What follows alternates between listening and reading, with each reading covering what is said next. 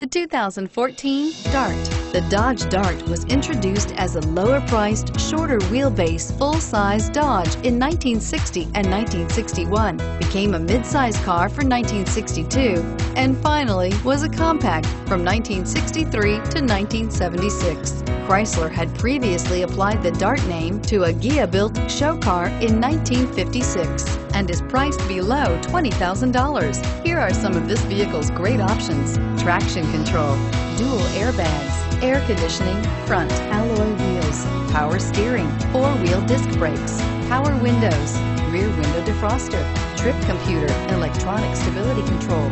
Your new ride is just a phone call away.